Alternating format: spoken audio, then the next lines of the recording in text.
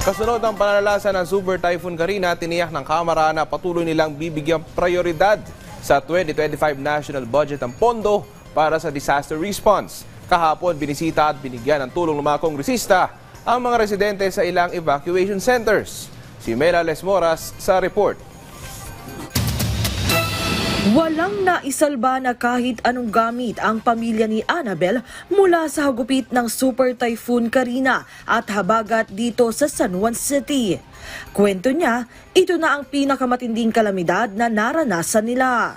Wala na kaming matulugan, wala na kaming makainan, wala kaming damit, wala kaming gamit. Totally wash out lahat. So hindi ko alam kung saan pa kami pupunta. Hindi naman kami pwedeng magtagal dito. Ang isa pang nasalanta na si Mira, na trauma rin daw sa nangyari. First time namin naka-experience nung rescue kami, nanginginig ako. Parang na-trauma. Ah, walang ganang kumain.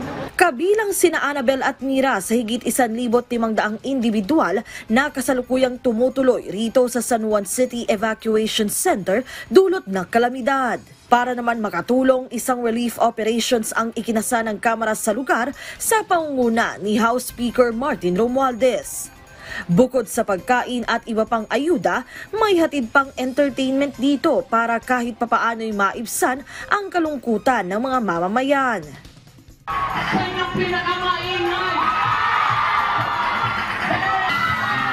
I love you, baby. Sino ba ang ng t-shirt? Hey! Ayon kay Speaker Romualdez, mahalaga para sa kanila ang agarang paghatid ng tulong sa ating mga kababayan sa panahon ng sakuna. Kaya't sa 2025 national budget, patuloy nilang bibigyang prioridad ang pondo para sa disaster response. nandyan, nandyan talaga. At uh, parating na-update lang natin, di ba? At saka sinabi ko din na ma, kung um, tamang pagkagastos, kung effective yung nakarang mga na, na nagawa na, na, na-implement at kung kulang, kaya doon natin i-repaso yung, uh, yung budget. Bukod sa San Juan City na mahagi rin ng tulong sa dalawang evacuation centers sa Quezon City ang liderato ng Kamara. Kahapon una nang nagkasa ng relief operations ang mga kongresista sa Marikina City.